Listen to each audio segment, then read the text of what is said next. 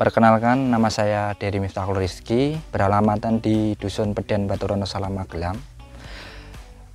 Di tanaman cabai saya ini dulunya terserang pitrip yang cukup parah.